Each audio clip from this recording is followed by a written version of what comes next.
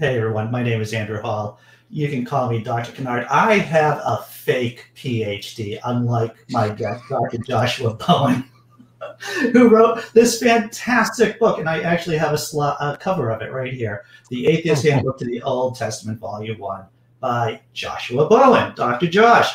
The link to the book is in the description. Now, there may be one or two of you out there who don't know who Dr. Joshua Bowen is, so I'm going to read a bit of his bio. It's it's he, he's done a bunch of wonderful things, but I'm just going to try to to concentrate it. So Dr. Joshua Bowen graduated from Johns Hopkins University in 2017 with a PhD in Assyriology. Did I pronounce that right, sir? You did. Yeah. Excellent. As well as his PhD, Josh holds a BS in religion from Liberty University, a THM in the Old Testament from Capital Bible Seminary, and an MA in Near Eastern Studies from the Johns Hopkins University. Prior to entering academia, Joshua was a chaplain in the U.S. Air Force, where he gained an AA in avionics. Sir, I am so happy to have you here. Oh my gosh! Well, I'm happy to be here. It's, uh, it's, it's funny every time I hear somebody uh, say a BS in religion. oh, right. Well, that's me. That's. Oh no, no, no, but it just it seems to fit. You know, that sorry, that's terrible. I shouldn't say that, but sorry. Well, let me just well, refocus. Right. so I just want to say hello to everyone in the chat. If you want to ask uh, Dr. Joshua a question, go right ahead. Do I have a bunch of questions about his wonderful book? Yes, I do. But if you want to blast in and ask a question, feel free. So, um, and, and you know, I've seen you on other people's streams, and you've popped in on in the chat in some of my other shows. But I, I do have to say it's an honor um, speaking with you, Dr. Joshua. Well, I appreciate you having me on. Yeah, it's it's a pleasure. Sure. So my first uh, uh, silly question, which I have a bunch of silly questions. Of all the ologies, what brought you to Assyriology? As against a Bab- I don't even know if Babylonology is a thing or Hittiteology is a thing. But what brought you to Assyria, uh, Assyria as a as a topic? Yeah, I mean, so when I was finishing up my master's of theology, which was a big, it was a big master's degree. Um, it was 126 semester hours, so it was it, it took it, it was a six year degree. And the last two years that I was there, I was teaching Hebrew to the other graduate students. And I had a professor, several, a couple of professors come up to me and say, look, you're one of these weird people that likes to study. Um, and so we don't want to waste that. You need to go get a PhD. Like there, there aren't a lot of people that we tell that to, but be, because you have to have this certain psychosis to do it, uh, you know, we don't want to waste it um, now that it's here. And so I said, well, great. W- what's the best? Like, how do I become the best Old Testament scholar ever? Right. That was like that was my thought, and that led me down the road. Um, to Johns Hopkins. They have this phenomenal Near Eastern Studies department. Well, when I started looking into it, uh, like they have a Hebrew Bible section of the department, um, but they also have this Assyriology. And I have this thing where if a lot of people are doing this and very few people are doing this, I'm naturally drawn to doing the thing that few people are doing. Mm-hmm. And so I thought, well, gosh, like I, I, Assyriology sounds awesome. But then I met with Paul Delnero, who would become my advisor, and just I fell in love with the field itself. So studying Sumerian, studying Akkadian. And so like they were actually worried when I applied, like, are you trying to get into the Hebrew Bible side of the department through the back door of Assyriology? And like I was like, I'm not like cuneiform. I have fallen in love with cuneiform, and that's really what happened. I became an atheist that you know that first year, and really stopped thinking for the most part about religion at all. And it was just reading Sumerian, reading Akkadian, reading Hebrew. Um, but that's what that's what got me into it. Cool, cool. I've heard um, that that people call it chicken scratching. Um, is that true? I can show you some. Sure. So and, this. Okay. Uh, so this. Yeah. Can you see? Let me see if I can get that to focus enough. All right. Um, I are there wedges because I've heard. Yeah. That cuneiform is um, the term cuneiform is based on the Latin for wedges. Yeah. So it's um, Yeah, it's uh, it, basically what they're doing. Sorry, I was thinking about two things at once. Basically, what they're doing. Th- this is an incantation model that was made by a good friend of ours, Jeremiah Peterson, Dr. Jeremiah Peterson, who is also an Assyriologist, and he has an Etsy store. And I can't oh. remember the name of it, but it's linked in all of our. I think it's linked in all of our videos, or if it's not, email us if you want to. But he's very reasonably priced. But he made this for us. But it's an incantation, and you can see from the side, there's a hole in the top. Right. And ostensibly, they would have worn this, and uh, you know, to ward off evil demons or whatever. But yeah, the, the way that they wrote in cuneiform is they had a I don't have a pen or anything, but they had a, a stylus, and they would take this piece of clay and they would it had an edge to it. They would impress it into the clay and form these wedges. Um, and each of the wedges sort of most of the wedges uh, form syllables so ba, ka, ad, ta, whatever. And then you sort of string them together uh, to form the way words are pronounced. So like uh, the word mundu, uh, you know, he he built would be mu undu, three hmm. signs. Interesting. So. Interesting. So uh, big zebra. Oh, I hit the wrong button. Let me try to hit it. Re. All right. I think we covered this, but big zebra asks. So uh, a BS in religion, a Bachelor of Science in the study of religion. Yeah, yeah, that's what it is. But it sounds better the other way. it does. so uh, I was looking through your bio and I saw that your thesis is in the lamentational liturgies of the city of, of Kish. Is that the print? Kish. Uh, Kish. All right, in, in the city of Kish. So what are they lamenting?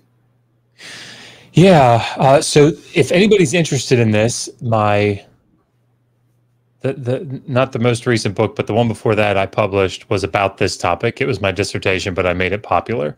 Um, so basically, in in the ancient Near East, in Mesopotamia, um, there are things. Gods are very capricious, right? And things can trigger them. Things can set them off. And it doesn't take much sometimes to do that. And the you know the idea that they had was that if the god leaves, if the if the the deity leaves the city, and there's a deity at least for each city, if that deity leaves, everything goes to pot, right? All hell breaks loose in the city because that that God's not there protecting them anymore and, and holding things together. So there were these any of these times they, they refer to them as like liminal times these, these when things would happen where the god might be tempted to leave they would recite these or sing these laments. And in doing so, they're, what they're lamenting is they're they're basically painting a picture through this sad lamenting song of all the bad shit that would happen if the god left. So, oh, you know, Enlil, if you leave your city, you know the walls will fall down and the sheep will die and the people will be killed by the western you know invaders and blah blah blah so basically this is how bad it will be please don't leave right right um and uh so th- things that could cause that were like if they were doing uh, renovations to the temple. The temple's made out of mud brick. Mud brick lasts like 50 years, and you got to do some serious rework to it well, if you go and you, you know, sort of screw with the god's temple, he might get pissed and leave, right? So then you you have this priest there, the Gala priest, and he says, "All right, you know, please don't leave, please don't leave. Come on, it's okay, you know." And what the way they describe it is the Gala priest is there to appease the heart of the god. Mm-hmm. That's what he's doing through these laments. So uh, there are lots of different ways that that could, you know, the, the, the things that could potentially drive the, the deity out. Like if they go in procession with the statue, the cult statue, maybe it jostles it too much, or maybe he's out for too long, whatever, and he might just leave. Um, so lots of different things that could happen, but that's what they're doing. Uh, are the liturgies meant to be sung, or part of them meant to be sung? Yeah, th- it's definitely performative, um, and we have like we know that uh, th- th- there's the liturgies themselves are named after musical instruments. N- not all of them, but but many of them are. Um, so, like the balong is the Sumerian word for a type of musical instrument. It's debated whether it's a harp or a drum. It's weird that those would be the two options, but there it is. Uh, there's the eršemma, and the eršemma is the Sumerian word air two, Shem five, Ma. And uh, in case anybody doesn't know just off the top of their head what that means, um, air, air two are, are tears, and then the Shem is a Shem drum. It's a type of drum, so it's tears played on the Shem drum. Uh, so yeah, these things were sung, but they they have very clear performative aspects. Different people uh, would have different roles that they would either read or sing. Um, but yeah, they're they're they're definitely sung. I don't want to put you. I don't want to put you on the spot, sir. But could you? But you're going to. But could you sing a verse or a line? The problem, I think, so no is the short answer. Okay, we good. don't know how they were sung. Like we don't know the pronunciation of them. Mm-hmm. We have. Uh, there's a guy named Sam Mirelman who is working on the musical side of of the liturgies and we have some sort of tantalizing clues as to what might have you know affected tone um that that sort of thing. But because we don't so let me say it this way. I could sing to you some hebrew hmm. uh, some some hebrew lines like psalm 23 or something but it's because it would be based on a modern like a not a a more modern Ashkenazic or Sephardic tradition, and the, the the, the way they pass down those notes, and like we probably have it, we're much closer, obviously, to uh, what what it probably sounded like. Uh, but as far as we don't have a tradition that has been passed down and maintained, so I would I wouldn't be able to do it. Also, I haven't memorized Sumerian uh, lines, so that's the other problem. Sure, sure, sure. I, I, I understand. like I said, I, I, know I was putting on the spot. It's like, how interesting would that be? Um, but you know, one of and, and I want to say, I want to take a step back and say, I really enjoyed your book. I read it cover to cover. You uh, brought out the topics. You explained the topics in a in an easy to understand way, and in a very organized way too. And so it seemed like you set out what you wanted to do, explain mm-hmm. to the reader how you were going to do it, and you executed on that very well. Oh, I appreciate that. Yeah, that was uh, definitely the goal. And actually, Megan and I were. Uh, she tweeted about it yesterday. Um, I'm working on volume two now. I just I'm just about done the Exodus chapter, and I said, you know what, I I think we've got enough here for a volume three. And so she said, oh well, let's brainstorm about it, and uh, we've got it laid out, got the outline done. So that's fantastic. pretty excited. What I noted in a part, I, I think it was in the introduction, that you talked about the scholarly consensus. Why is that important to point out what scholarly scholar? I'm going to try to say words now, everyone. Why is it important to mention what the scholarly consensus is? Yeah. Interesting that you ask because I had a sort of a Twitter back and forth this morning, which I'm so loath to do because I, I always end up doing it on my phone. And I always end up thinking halfway through, my God, I have so many better things to be doing with my time. Um, but part of the back and forth was that the person was intimating, well, this is just your opinion. It was about Ezekiel 26. Um, in this recent video that I that I, uh, I, I did an interview on Myth Vision uh, podcast channel, and they were like, "Oh, well, I disagree with your conclusion, your interpretation." And my response was, "Well, this isn't my interpretation. This is the scholarly consensus uh, of of what's going on with these data points." And really, without missing a beat, uh, and and not, I guess, to to to no sh- surprise of mine, well, I don't care about majority position was sort of the response, and it's like, yeah, you should, though. um, and and the reason that that's the case because it, that's and it was in this tweet as well followed up with like something akin to majority doesn't equal truth. Those two things are not connected right? Caring about scholarly consensus and consensus equaling truth are two completely disconnected things but people lump them into one and they really need to be careful not to do that. So uh, a good analogy i think is uh, you could probably go out and find a doctor right now that will tell you it's totally cool to eat cheeseburgers every day and to not worry about exercising. And he would say, Well, why? And he said, Well, we know so many people that live into their 80s and 90s by eating cheese, you know, and they eat cheeseburgers every day and they don't exercise. And we know lots of people that, um, or at least some people that, uh, you know, died in their 50s from heart attacks and they were, you know, exercised a lot, very health conscious. Okay. Well, if you then go to every other goddamn doctor, they're going to say, mm, please don't listen to that doctor. Um, the, the overwhelming consensus among doctors is you should exercise and you should eat well. Well, does that make it true? No, it doesn't, right? Um, but there's a reason that all of the doctors say don't eat cheeseburgers every day, right? There's all this data, there's all this research that's been done. And the way that the way that scholarly review peer review works is that when you come out with a paper, when you come out with a study, all the the way that scholars can one of the ways that scholars get ahead in their fields is by critiquing other scholars.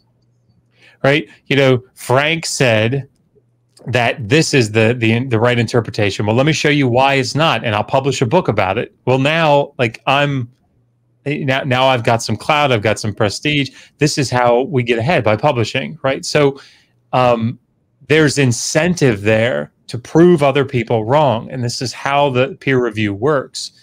Uh, you you don't have shit getting put put out there for very long, because once it's out there, then people just destroy it, right? And and and that's good. It's good that it works that way.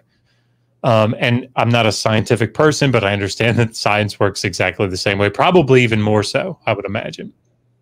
Um, because that's much more testable and repeatable. There's a methodology to it that's that's much more precise. So when it comes to things like the Hebrew Bible or the ancient Near East, we all are working with the same data points and what I mean by that, not to be too simplistic here, but like if a detective walks into a room and there's there's a gun on the floor, that gun has been recently fired. We have a test report that shows that it's been recently fired. And we have a test report that showed that Jim is the one that fired it recently because he's got gunshot residue and it matches. And there's also a dead body on the floor and the bullet that killed him we can we can determine came from this gun. Here's the test report for it. These are all the data points. And if you go into a courtroom the defense and the prosecution all have the same data points. But their interpretive models. What they how they tie all those data points together will very often if it's a good defense attorney differ right? The defense attorney is accounting for all the data points that we have, all the reports, all the facts that we have in the case, but spinning that, interpreting that data very differently from how the prosecution is doing it. And that's the case in all fields of research. We all have the same data points. There isn't like a, a study that comes out or like an archaeological report that comes out that a good scholar isn't going to get a hold of if he's writing on that topic. So if you go read somebody, I just finished writing on the Exodus, and I'll stop talking. But um, I just finished writing on the Exodus, and James Hoffmeier is an evangelical scholar out at Trinity who's a great guy um, and a really good Egyptologist. But he has a very clear bias when it comes to the Exodus. So like when you when his work is I think phenomenal. Kenneth Kitchen, the work is phenomenal, but when it gets into the Exodus, it it to me it gets a little shaky because they they they they have a commitment, a theological commitment. And so, but they they still have to deal with the same data points. They have to deal with things like, well, we don't have evidence for a 15th century Exodus. We don't, you know, have we have the Merneptah stela, which shows, you know, 1207 is the first time that we see Israel being mentioned you know, we have all these problems with two and a half million people walking out of Egypt in you know in the 15th century. So all we all deal with these data points. We have to. But the problem the, the difference is that some people construct a model that accounts for those data points that's different from the model that everybody else agrees is the one that we should be using. Uh, because that model uh, accounts for the data better And that's why I think when we come to consensus scholarship, it's one of these things that at a bare minimum, you need to know what it is, know why they argue it, and take it seriously. Does it mean that it's right? No. People write dissertations that go against consensus scholarship. The fundamental difference, and everybody hear me, the last thing I say, the fundamental difference, because people will grab onto that and say, ah, does every dissertation disproves consensus scholarship? That's not true. But those that do, they're being written by people that are becoming experts in that topic. And it's usually a very, very narrow topic. So, and they've spent years reading everything about it. So they're the expert on that topic now. So the difference between a non-specialist, as good as a non-specialist, somebody like me, coming to the resurrection or coming to something in the book of Acts or Markan priority or something, even though I've got training in that, like it's not my field of expertise. So it'd be very unwise of me to go buck against consensus scholarship and say, you guys don't know what you're talking about. I have a model that accounts for the data points better when I haven't read everything about it and become an expert in the languages that are required to be able to make that kind of make make those kinds of determinations. Um, that's why scholarly consensus is so important. That was probably a lot more than you wanted to hear, and I'm sorry. Absolutely not, because I try to ask questions that give that get my uh, guests jazzed up, Professor Josh. well, that one worked. That's great. Uh, something funny first, and then we'll go to something more serious.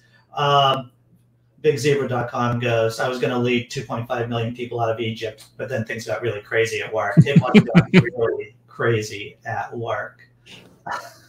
Uh, but seriously, so you come from a world where there's peer review, where where when change does happen in a field, it's definitely there are mechanisms to make sure that it isn't just BS. How do you deal? Because you're online a lot.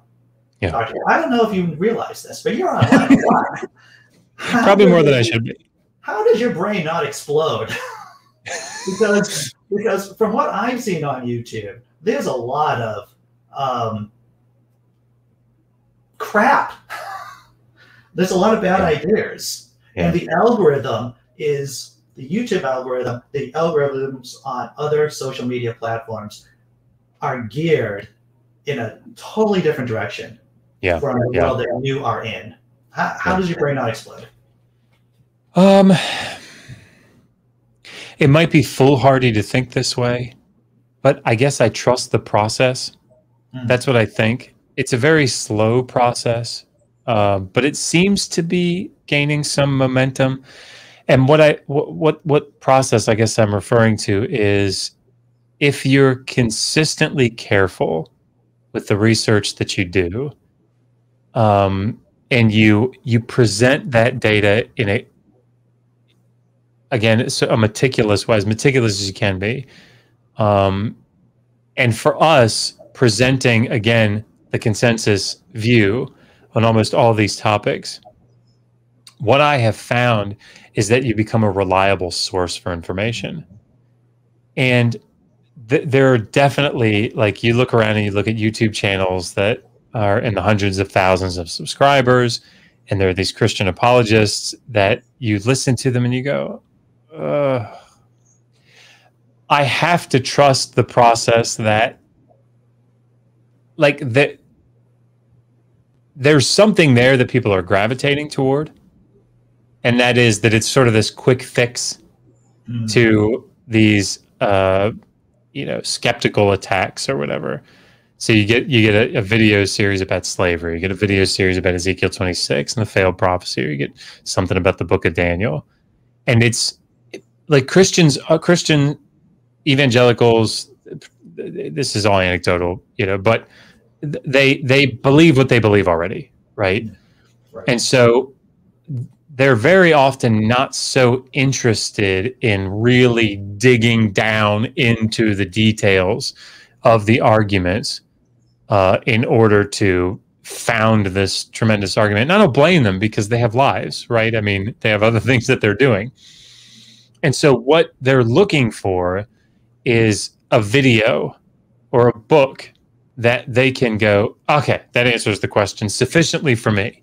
Mm-hmm. Um, and then they can link somebody to it, right? Oh, here's this, here's this article that I mean, it happened this morning. Here's this article that I found online about Ezekiel 26. And it's like, you read through the first two sentences and you go, like, this is what the whole chapter of my book is about, yeah. right? Um, and so I have to trust that eventually, um, it'll become clear as as skeptics and atheists, and I think more re not more reasonable. What do I want to say? More um, skeptical. Sure, that that that works. Uh, more skeptical Christians to sort of these bad apologetic positions like slavery is not so bad. Right. You know, um, um, sounds so weird to say. Uh, that that when they come into contact with these good resources, things that like are in my bibliography, uh, things that I cite, that they they go they read my book and that takes them to you know these other these other really great scholars that they'll then bring those to these big channel apologists mm-hmm. and it'll become clear over time well this quick fix doesn't really suffice and they're they're going to stay big. Like I don't I don't have any question that you know uh, certain YouTubers are going to stay big and, and get bigger, but that their impact is going to decrease in a with the group of people that is generally generally genuinely interested in more than just a cursory glance, a cursory defense uh, of these these bad apologetic positions. I think you're spot on with that. I, I think it's and and I don't want to sound too positive because that's against my brand, Dr. Josh, to tell you the truth. Right, right, right. You're right. Over time, good ideas will beat out bad ideas in the marketplace of, of yeah. ideas. I, am just trying to figure out how many times I can say ideas in a paragraph, I guess. But yeah, that, that's what I think so too. Um, you know, we've been talking for a while. For people who haven't read the book, you want to just give a basic outline of it? Yeah, sure. Um, so the way that and all three we've made it so that as of yesterday we've made it so that all three are laid out this way. So I'm really excited because that was my fear about volume three is that I don't have that. I don't think there's enough material to to actually lay it out so that it's the same. But actually, Megan figured it out, so it's brilliant. Um, it's divided into two parts, two main sections. The first section is general. It's meant to be like general background information to the Bible, to the ancient Near East, and how like research is done into this this area of study. And then the second half of the book picks up on specific hot button issues, and there are four in each volume. Um, so like specific things like like the first fall. I mean, so, so well, so that's what it does. It takes up specific and it goes in depth into those individual um, individual topics or issues, so much so that the goal is that the reader has a resource there that if they want to go into an actual formal debate about the topic online or with somebody at home or whatever, more informally, I guess, that it's a one stop shop. Like mm-hmm. they know all the arguments, they know all the data points, and they know the the general consensus or the scholarly consensus on the correct interpretive model for those data points. So, um, then more specifically, in the first half of the book, this background introduction consists of three chapters. The first one lays out the narrative, the story of the Old Testament. So, like, what actually is the story? Uh, it's not concerned with it. Did this historically actually happen, or anything like that, or are there contradictions? That's not relevant it's just what is it that when you talk to uh, an evangelical or a fundamentalist Christian, what is the story that they're operating from? What's their what when they think about creation? What are they thinking about? When they think about what happened to Moses wandering in the wilderness, what are they thinking about? Um, so the first book, uh, the volume one goes from the creation in Genesis one one down to the death of Moses at the end of the book of Deuteronomy. Volume two uh, is going to go from Joshua beginning his conquest into uh, Canaan down to the end of the united monarchy under Solomon. So Solomon's death, and then the, the, the so so then volume three will pick up with the division of the united monarchy under Rehoboam and Jeroboam, the north and the south, and run down through to the return of the exiles from um, from Babylonian uh, Babylonia. So uh, that's the first chapter. Second chapter is, and I'll go faster now. Sorry, is um, history of the ancient Near East. So volume one does the history of the ancient Near East, just in general, uh, from a Mesopotamian perspective. Volume two will give it from an Egyptian perspective. Uh, volume three will give it from, from a Syro-Palestinian perspective. Um, so that should sort of cover cover all our bases. Then volume three is the archaeology. Volume three, chapter three is the archaeology section, the archaeology chapter. So what I try to do is in volume one, it's like how does archaeology work? What is it? What are they actually doing out there in the field? Then it moves into what is biblical archaeology and how is it developed over time. And then it gives some test cases into how archaeology works with the Philistines and with the Canaanites. And volume two is going to do something similar. It won't have the introductory material, but it's going to go into um, the uh, ex uh, the uh, the uh, sorry the um, conquest. What do we know about the conquest account? And does it hold up? And then what is it that like early Israelite formation? So mm-hmm. from a strictly archaeological perspective.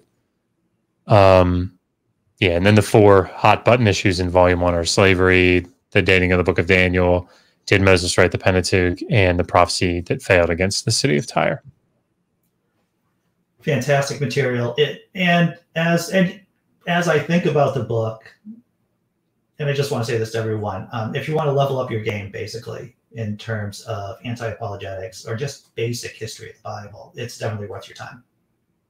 Definitely worth it. Yeah. And and I, I will say just as sort of a final note, like I was so excited. I don't talk about this an awful lot, but I was just so excited by who agreed to endorse it. Hmm. Um, and I don't know if people have noticed this, but Joel Baden has a blurb on the back of the book uh, where he he says the end of it says you don't bring a knife to a gunfight, and you shouldn't go into a debate about the Bible with copy your copy of this book handy. Like I fell out of my chair when he emailed that to me. That is um, Francesca Stavrakopoulou wrote uh, a blurb on the back, and she called it a master class in how to study the Hebrew Bible in the ancient Near East. Um, Aaron Ra has a blurb on the back, and it was just like I don't know. I was really humbled by uh, you know who who who agreed to do that and what they said. It was it it, it really uh, yeah. I felt really good about that. It was great. Well, congratulations on those. those Thank you. Yeah, yeah. So there, of course we're going to have to this wouldn't be the internet unless we talk about haters. you know, there are atheists out there who are quick to say, why focus on Iron Age sheepherder fan fiction? Right. Well, how do you respond to that? this is something that I think I'm hoping that I don't want to say good ideas. I, I think just how do I say this? Not everybody gets to study Mesopotamian history. Not everybody gets to study the, the, history of the ancient Near East. And if they do, it's often quite, you know, cursory. Um, and even fewer people get to read the literature, mm. like the, the, the, the, the myths and the, the poetry and the proverbs and all this that, that come out of these ancient Near Eastern cultures. And I think that because of that, two things happen. One, fundamentalist evangelicals will often, whether they admit it or not, come to the Bible as this like handed down from heaven, made, you know, written in a vacuum, uh, nothing else like it. It's just so amazing you know piece of piece of work and it's just like the standard and it's oh my god it's so different and so progressive and so developed and so amazing. And that drives the second thing that happens which is i think atheists and skeptics bucking against that right? And what i'm so so what i'm hoping in time is that both sides will sort of simmer down now, you know, simmer down now. Right. Um, there are definitely things in the Hebrew Bible. It's a late compilation, right? So it's not that they're progressive, I guess. It's just that it's later in time. And so people are thinking through things more, right? So there are definitely some things that are what I would consider to be moral movements forward in hmm. certain aspects of the Hebrew Bible. But like so so I don't want to take that away from them. Uh but it's nothing compared to the the bad shit that's in there, right? Um, from from our perspective, from our 21st century moral perspective, which I think is really important to recognize um, from both sides of that of that argument. But the other thing is, these are very very intelligent people.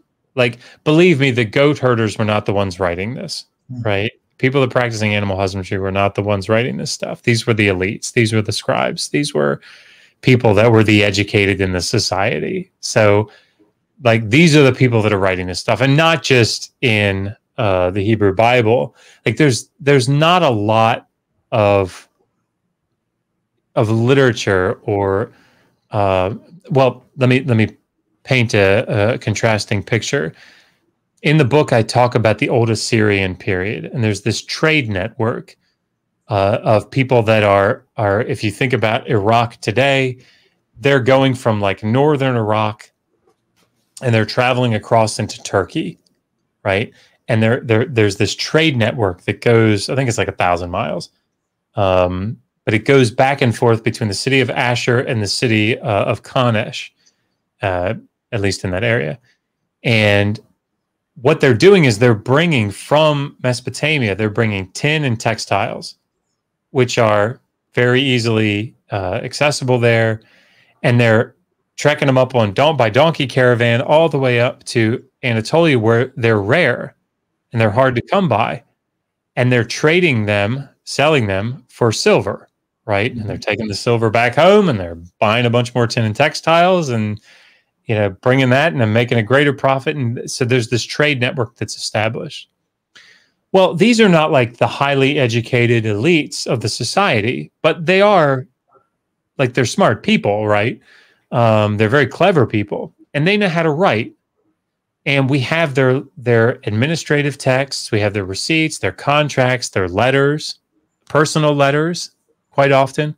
Um, but the the system of cuneiform that they use to write it is a very truncated form I think it's something like 50 signs that they use, 50 different cuneiform signs. And they all have pretty standard values. And if you know anything about Sumerian or Akkadian, there's like, if you're going to write literary text, you have to know like 700 signs or something. Um, I mean, that's a little excessive, but you have to know hundreds of signs, and they all have different values. Each sign has different values. Um, so, like the be sign can be be, bod, bot, bot, or till. Like it could be any of those phonetic values uh, when you write cuneiform. So the point is that while they they're they're they know how to write, they have some they have some level of education. They can they can write these contracts and stuff um, and these letters, but it's not this advanced education that the scribes would have had. So with that being said, um, the idea that they're like these ignorant goat herders that are, you know, that's just not the case. Um, they're and they're not Bronze Age, by the way. Uh, that's an important thing I think for everybody to say. Like they're definitely Iron Age, right? Um, and uh, so I guess I think it's important for us to recognize that for their time, the literature was beautiful, both in the Hebrew Bible and in the ancient Near East. I mean, I have like I can recommend English translations of Akkadian literary texts, Sumerian literary texts incantations, omens. Um, the way that they thought was, I mean, it's brilliant. Um, we would look at it today and go, you know, like we would look at people from the 18th century and say, well, that was brilliant for their time. But I mean, like, you know, we're more advanced than that now. But that doesn't take anything away from them. And so I think being able to respect, at the same time, respect the um, the value and the brilliance that they had in in the things that they did, the writings that they they've left us, and yet still not put that up on some pedestal where we say divine inspiration mm. brought this about. No, this is just it's common to the ancient Near East that they all did this, right? So that, that's that's why I say the Hebrew Bible is another ancient Near Eastern text or group of texts, and that's important um, to recognize. Fantastic, fantastic. So one of the things, and this was like, and I'm going to be selfish right now for a minute, is that one of the light bulbs that that um, turned on in my stupid brain when I was reading it, Philistines and the Sea Peoples, and I had never drawn the conclusion that the Philistines were probably, maybe, perhaps one of almost the certainly, people. almost certainly. So for, for for those of us, for those of the people out there who haven't heard about the Bronze Age collapse, and I know this is an insanely complicated topic. Um, gosh, Dr. Josh, can you just give me a one minute or 30 second elevator? Yes. Uh, but you know what I'm saying. Speak as yeah, yeah. as you want to about this topic. So, okay. This is a very, this is definitely a niche part of um, Near Eastern studies. So it's not my area of like specialization or expertise. Eric Cline is the person that you want to turn to for this. Eric Cline, he just wrote, he just published a, an updated volume or updated edition to his 1177 book. Uh, that's like the year civilization collapsed, I think is the full title.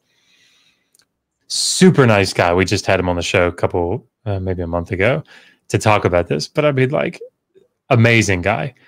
But okay, in the 12th century, um, and he would argue the year 1177 is when it happens. Uh, BCE. Leading BCE, that's right. Leading up to this, okay, let me let me let me paint the the historical background. So, um, we're talking about around the Mediterranean, right? So Egypt up into the southern Levant, you know, Israel, Palestine, Syria, Palestine area, and then even over into Mesopotamia. But this whole area there uh, around the Mediterranean, and of course up into Turkey and into Greece. There's this period of time called the Amarna period, and it's in the 14th century BCE. And we know about it from this archive of tablets, 382 tablets, I think, last count, um, that talk about relationships between both kings of these major powers Assyria, Babylonia, the Hittites, Mitanni, Egypt, um, Alashia, Arzawa, like all these Mediterranean powers. They're all writing letters to each other and they all refer to each other as brother, mm. right? And it's really interesting how it works out. Um, but then we also have a whole bunch of letters between the Pharaoh in Egypt and the rulers, the little petty rulers that are his vassals in Canaan, in the land of Canaan. And what that tells us from this period is that Canaan is very much in control of, uh, sorry, Egypt is, is that what I said? Egypt is very much in control of Canaan. There are forts throughout the land. It's divided into provinces. There are Egyptian officials up there. There's a problem with Hatti in the north uh, in 13th century, but that still Canaan remains a pretty secure area for mo- most of Canaan is a pretty secure area for um, for Egypt. Okay. Toward the end of the 13th century, in the beginning of the 12th century, there are a lot of things that happen. And one of them is you have this movement of a group of people called the Sea Peoples. And the Sea Peoples, we don't have to get into it now, why they left, you know, up in, um, um, you know, like the Turkey, Greece, you know, area, why they left. We th- there's lots of discussion about that, but they came down. Um, many of them were probably already there as mercenaries. It's really complicated. But we have this movement of this group of sea peoples that comes down. If you go to um, this, uh, there, there are these inscriptions in Egypt at Medinet Habu that show actual depictions of this and the, the text about it. Anyway, they are they come down, and there seems to be a pretty significant series of battles or fights or whatever between Egypt and the Sea Peoples. Okay, they're rebuffed. They ultimately get rebuffed, um, and they they we know the groups of people that made up the Sea Peoples, and one of them is named the Peleset. You also have Tjeker, uh. Uh, I can't remember them all, but off the top of my head. But the Peleset are one of uh, is, is one of the groups, and the Peleset archaeologically they seem to have. If you think of how Egypt is set up, you know they try to go down into Egypt, they get rebuffed, and so they go north along the coast, and they seem to settle in these coastal cities in Palestine, in Canaan. So Gaza, Ashdod, um, uh. Uh, yeah. Anyway, I can't. There's a the, the five of them.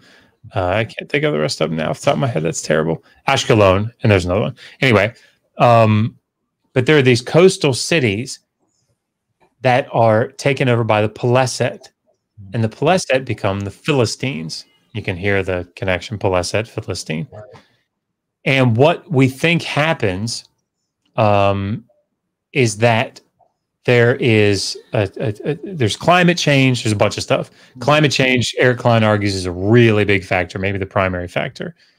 And um, what ends up happening is the Philistines settle. They start to fight against this group of Canaanites that are in the land that ultimately move up into the highlands, which become ultimately become Israel. So you can see that in the Hebrew Bible. There's this battling between the Israelites and the Philistines, probably reminiscent of that you have these other small and the reason that these can all sort of the israelites the philistines the edomites the ammonites the moabites the reason that they can all form at this time in the 12th century is because the combination of the sea peoples coming down and doing all this destruction in the mediterranean on the coast uh, fighting against egypt lessening egypt's control over canaan that's a huge thing Egypt is now too weak to control mm-hmm. Canaan. So now it frees these local petty rulers up to do their own thing. They're not vassals of Egypt anymore. So now they form their own little their own little nations, right? right? And the combination of that with the drying up, the climate change leads to this systems collapse. So all these major powers that have been really big, really a really big deal during the Amarna period and, and down into the into the 13th century, there's just this period of significant decline. And this allows these uh, smaller, it, it, it continues to allow these sort of smaller nation states to develop themselves because they're not vassals of any big nation. Right. And so that allows for Israel to develop. It allows for all, you know, Edomites and Ammonites and Moabites and the Philistines to sort of get get some momentum and get going on their own. Yeah, and that's what struck me. Without the Bronze Age collapse, without the Philistines, you would not have independent Judah, Judah, uh, the northern kingdoms. You wouldn't have that, and that yeah. was the light bulb that went on my head. Yeah, and that's why it's so important. Um, and I talk about this stuff in volume two in much more detail. But the, the reason that we don't see Israel until 1207 with the Merneptah Stele is that like they're just it, we, the best information that we have is they're just a group of Canaanites, they're just part of the Canaanites. Um, and it's not until Merneptah goes up into Canaan and fights and tries to regain some control up there because things are starting to slip um, that they're able to start forming, right? And and it's I think it's this Philistine or this the Sea Peoples thing that ultimately sort of, you know, ag- again along with all these other factors, um, allows Israel to sort of come into its own um, and develop its own origin stories and, and, and, and, traditions and those sorts of things. Right, right, right. All right, so I'm going to uh, go back to the chat here. And um, Iron Charioteer was um, curious about the evolution of monotheism. And once again, you, you could write novels, books, dissertations on this. But is there a, a way of understanding the emergence of monotheism. Oh, I'm sorry. Uh, I I read that in monotheism in Babylonia. Like the Babylonian religion became monotheistic, and I'm like, hmm, I don't know that I would say that. Um, you're saying, uh, I think what he's he's asking is the uh, monotheism in the Hebrew Bible. Hmm. Is that what he's saying? I think so. I think so. Yeah. Okay. Okay. Okay. Yeah. Um. So yes, uh, I think uh, I think it's a very complicated process. Apparently, I say that about everything because it is. Um, one of my mottos is if you think it's simple, you probably don't understand it. Um, and except when it comes to slavery, that was pretty simple. Okay. I think if you make that one complicated, you don't understand it.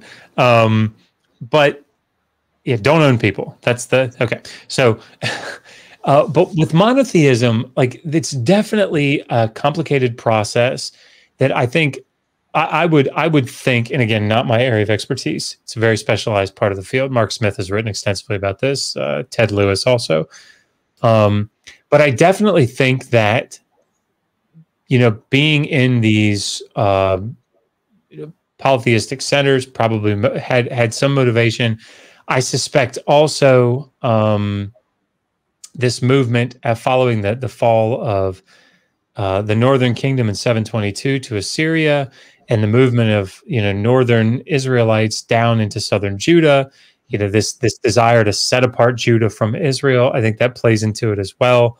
I think it's a process that develops, and of course, you know, at looking around, um, it, it's a process that, like, it's not like Israel as a whole is uh, is developing and becoming monotheistic. They're uh, very certainly not. Right? It's these elite Judean scribes um, that are that are moving toward that. So, like when you see in the book of Ezekiel, for example, you know Ezekiel in his vision, he's tunneling into the walls of the temple. And what does he see? He sees Ishtar worship and Dumuzi worship in the mm-hmm. temple. I mean, like, you know, the, the Israel, uh, the Israelite religion, and Iron Charioteer knows this. Sorry, I'm not saying that to him. I know he knows this. Um, but there's a difference, and Christian apologists need to, I think, grab hold of this there's a difference between Israelite religion and the religion in the Hebrew Bible. Those are very different things. And what where I see them get conflated is when people talk about how great ancient Israel was. And they say things like, look, these slaves could come from these other nations and worship the one true God. You're like, right. It doesn't work that way. There's a difference between what these elite Judean scribes were doing and writing and believing and, and probably trying to implement to some degree and what the Israelites as a whole were doing is very different. You probably, it, you, you, they probably uh, don't want to appeal to uh, the, the polytheistic nature um, of of Israel, early Israelite worship. Um, and they and and but you hear them talk about it, right? Uh, last thing I'll say, you hear them talk about it quite frequently when you read through the story of the Hebrew Bible, because when you talk about um, things like Asherah or you know Yahweh having a consort or something, no, no, no, those are the the Baal worship. That's all wicked and condemned in the Bible. But why is it condemned? Hmm. Because they're doing it, right? I mean, right. So these things go hand in hand you wouldn't have so many anti-marijuana laws if people weren't smoking marijuana. right. You don't yeah, you don't have stuff like uh you don't have laws against like eating feces, right? Uh, right. like lots of laws against eating feces. I mean, maybe there are some. I just don't know, but like I don't hear about them all that often because people don't do that, right? So Exactly. Exactly. So, Dr. Josh, we're getting close to the end of our time together. And, and you know, I had like a full series of questions, which uh, I'm happy because we did deep dives into particular topics. But what I like to ask uh, people come on the show is: Is there a question you wanted me to ask you, but you didn't get around to? Is there a topic you wanted to talk about, but we just didn't get there? And this could be about anything. I, I think. Um because it happened this morning, it's fresh on my mind. Uh, this this thing in Ezekiel 26. Um, you know, for those that don't know what what I'm talking about, there's a prophecy in the book of Ezekiel where Ezekiel is is is saying to the city of Tyre, the island city of Tyre, um, Nebuchadnezzar is going to come destroy you, and he's going to wipe you off the map. And um, it doesn't happen. And we know from history it doesn't happen. Ezekiel himself, three chapters later, says it didn't happen. And so this is a problem, right? This is a problem that scholars have wrestled with for a long time.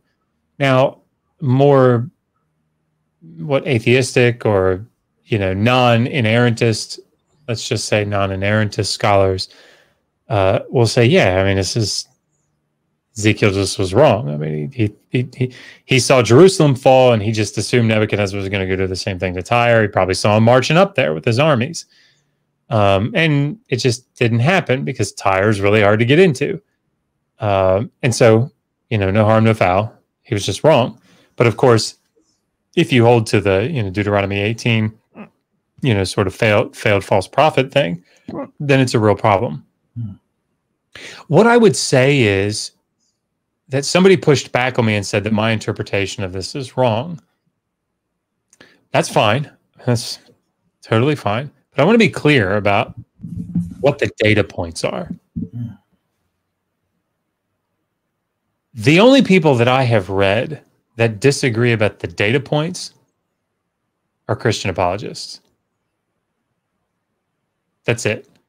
I mean, I don't remember what Norm Geisler wrote in his like in he's a New Testament scholar wrote on this encyclopedia of Bible difficulties. I don't remember exactly what he says about it. But I mean like 99% of the time, the people that are disagreeing that Nebuchadnezzar was supposed to be the one that was going to destroy Tyre, and that Nebuchadnezzar and Nebuchadnezzar alone was supposed to be the one, and that Nebuchadnezzar didn't do it. Like the the only people that are disagreeing about those data points are online Christian apologists that I have found, and I read pretty widely uh, in the secondary literature to write that chapter. So, Christian scholars, evangelical scholars, liberal scholars, whatever that means, like we all agree that Nebuchadnezzar was the one that was supposed to do it, and Nebuchadnezzar didn't do it, and Ezekiel said so. That's what we all agree. So if that's what my interpretation is, that's wrong. Well, I mean, you're having you're having to say to the whole of the scholarly community that they're wrong, which is fine you might want to go get a phd in this stuff first before you do that though. That's just my my advice because that it's one thing it's one thing to say that uh, just because consensus scholarship says it that doesn't mean that it's right. It's a different thing to say well i don't have any expertise in this but i think all the consensus scholars are wrong. It would be like i don't have i don't have any training in how the body works. I read a couple of articles about the heart and how it pumps but I think that all cardiologists are wrong, right, about cheeseburgers being bad for you to eat every day. Like that's not wise. Okay, it's just not wise. Um, where they disagree, where evangelical scholars fall on this, and maybe this is what he meant, and if so, great those data points, the way that they make sense of that and still maintain the inerrancy of Scripture and the inspiration of Scripture is that they say prophecy is contingent. And they say that when Jonah went to Nineveh and said, Nineveh, you better get your act together or God's going to destroy you in the next 40 days. And the king and all the Ninevites sit in sackcloth and ashes and repent. And what happens? God spares Nineveh. This must have been what happened with Tyre. That's what that interpretation is. It's very common, a very common interpretation. Um, so you can read Robert Chisholm about that, for example. Uh, Chris Udd is another person you can read about that. So I disagree that that's what's going on, but that is an interpretation that scholarly evangelicals take. Great again, I disagree with it. It's not what most scholars would say about it. But if you're if if if you're going to try to hold on to the inerrancy of the text, I think that's where you have to go. Going to things like, oh, there's a hidden Alexander the Great in chapter 26 doesn't work.